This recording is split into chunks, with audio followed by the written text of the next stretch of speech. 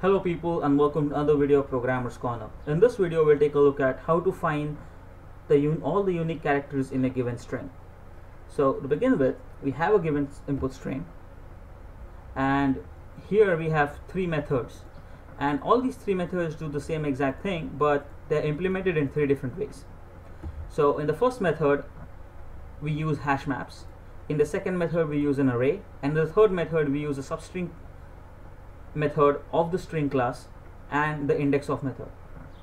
So to begin with, let's see how we find all the unique characters using a hash map. So the unique all the find all unique method takes in string as a parameter and it returns a void. Uh, it declares two hash maps, the helper and the helper and the helping helper. So the helper method, the helper hash map will have all the characters that I have found and the number of times I have found them and the helping helper will keep track of the first occurrence of a, of a letter that I found in order. So let's say if I have A, B and C, the helper from the helper hash map will have A comma 1, B comma 1 and C comma 1 whereas the helping helper will have 1 comma A, 2 comma B and 3 comma C because that's the order in which I have I found ABC for the first time. If I have ABCA, the helper will be a comma 2 b comma 1 and c comma 1 whereas the helping helper will be the same thing 1 comma a 2 comma b and 3 comma c. Because even though I found a at the end of c in the string a b c a the helping helper has only those characters in order that I found for the first time. So a b c I've already found a in the beginning so I, I don't need to update that. So now how we use that to find all the unique characters in a given string. So we have a count variable of type int which is initialized to 1 and we use that to count to keep to iterate through the helping helper or to basically keep count of how many elements have been put in the helping helper and defining their or stating their uh, stating their key which is of type integer we start iterating through the iterating through the string so we take D first in the initial state and we have two cases. What if the helper is empty? What if the hash map is empty? What we do what we do then?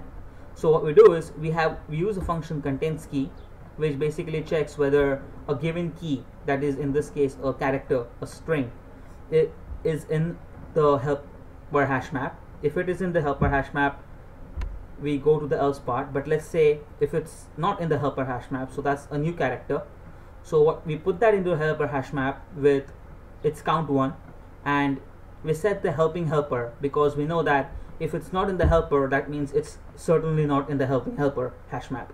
So we use the count that we have. So in this case the count initially is 1 because it's the first element.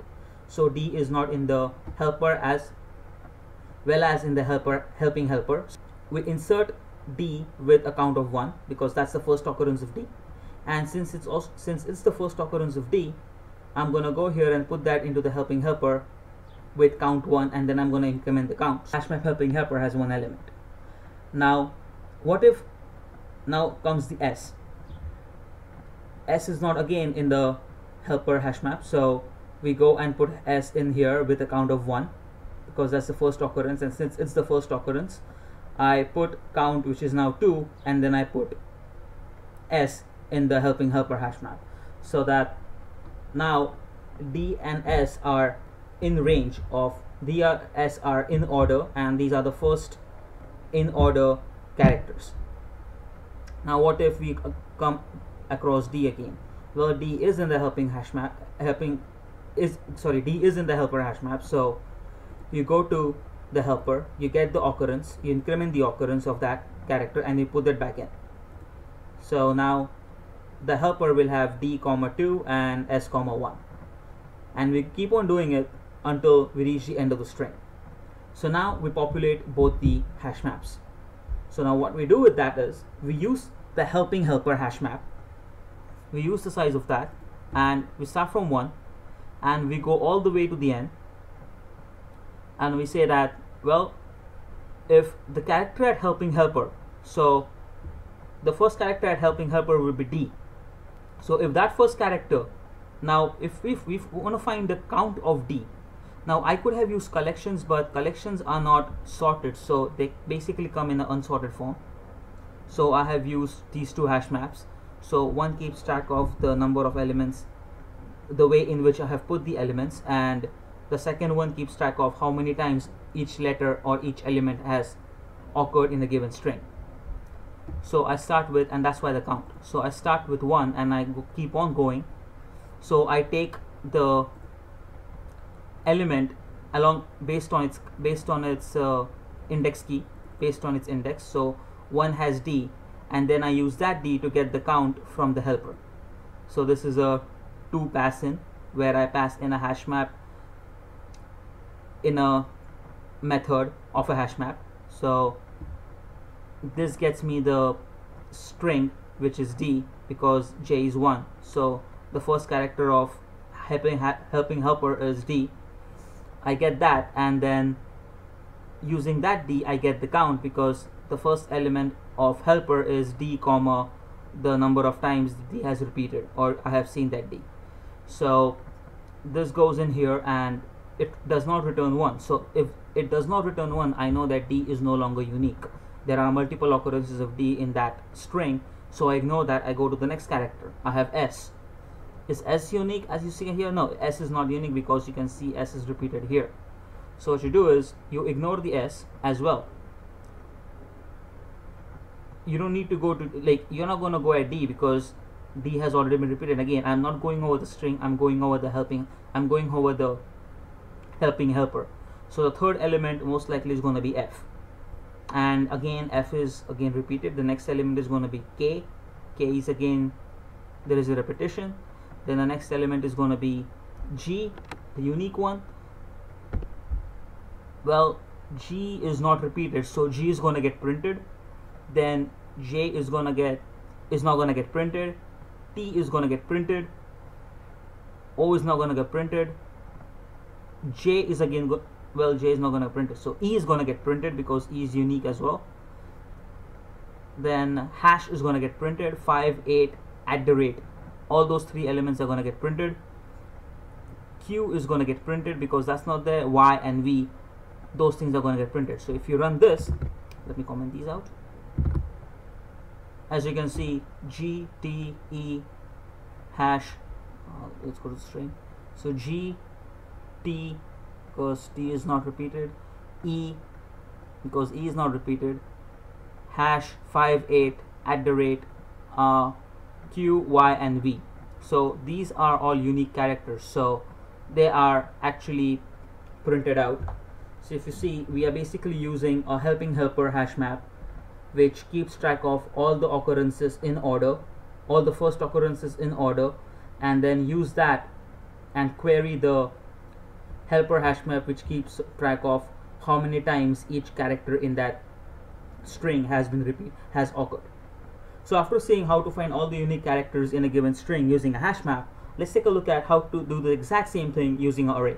So we have a function called find all unique arrays which takes in string s as a parameter and it returns void. In the function what it does is we create a helper array of the same size as that of the string length and we initialize all the indexes of that array to minus 1 so basically initializing everything to false.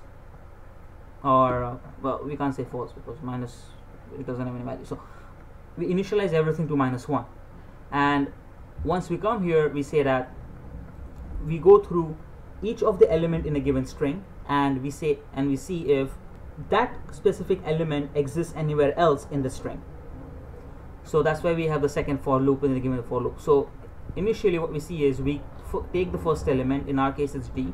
So it's going to see that is the helper of i which is 0 is the same as is on is is this at this point unique? Well in this case it is.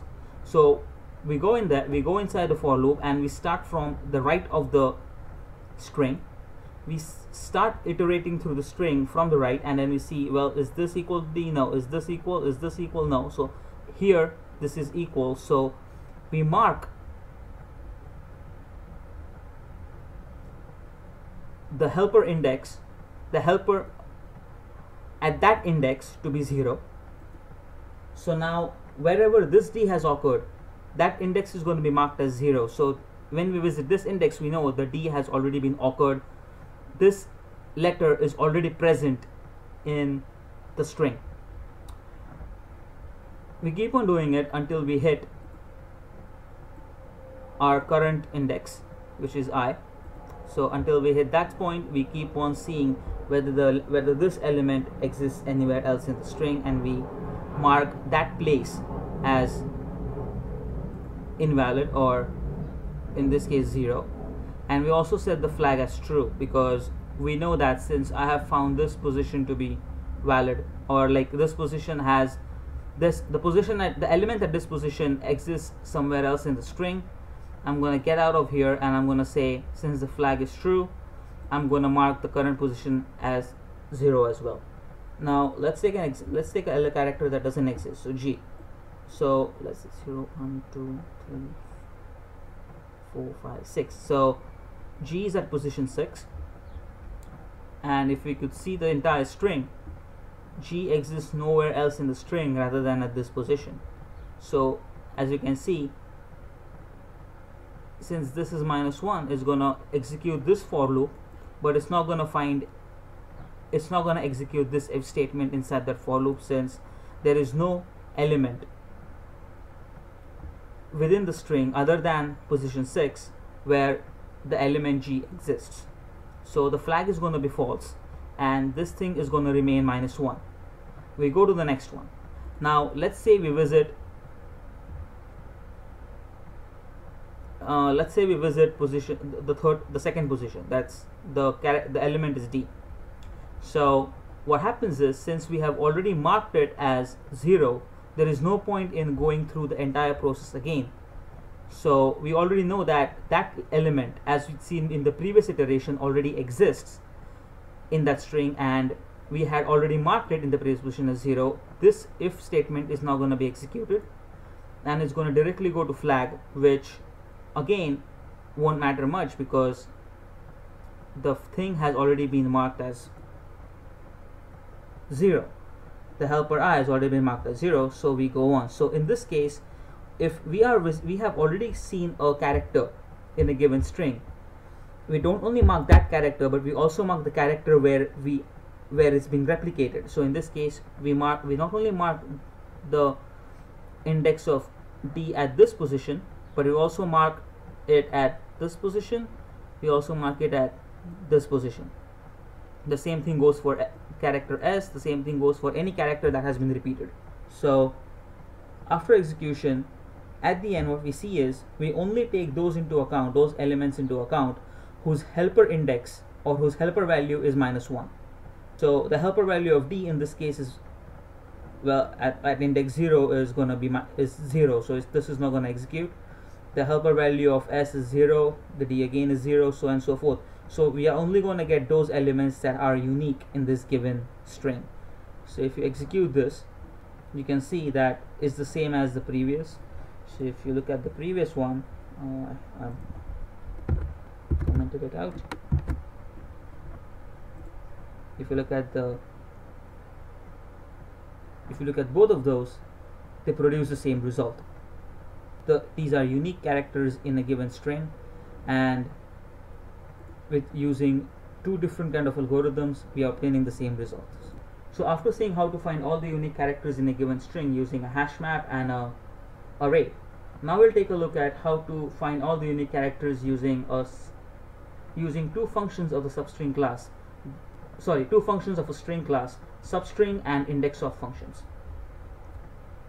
So in this case what we do is in the find unique character method we take the input as we take the string as input and we return void.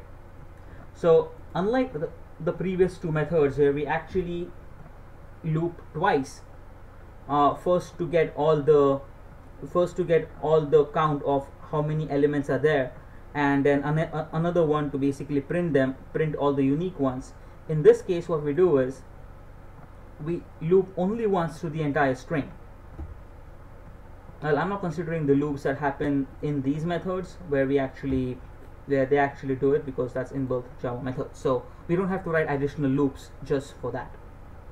So what we do is at when we select a point when we select the element in a string we break the string at that point itself.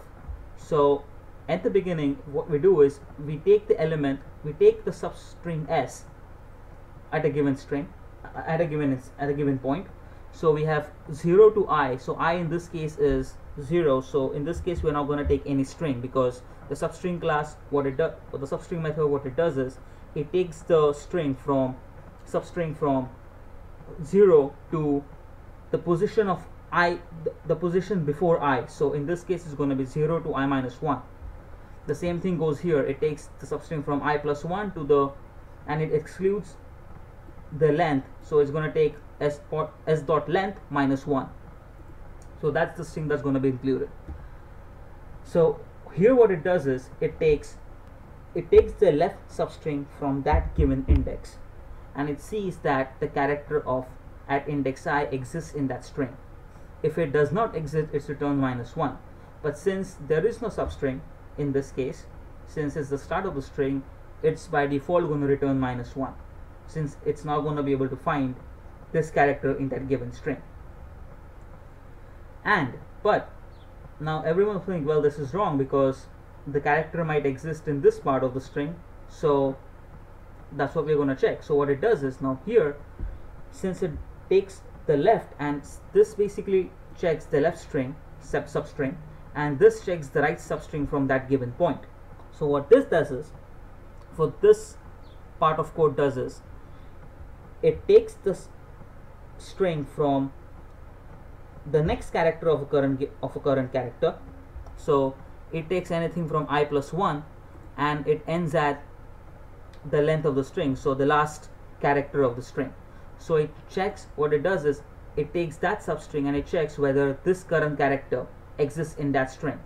If it does it's going to return the index and it's not going to be minus 1 but if there is no character of that sort then it's going to return minus 1 and if we are at the first character in our case it's again t so what happens is it will try to find the first occurrence of d and it's not going to be minus 1 so we know that this character is not the character we are looking at.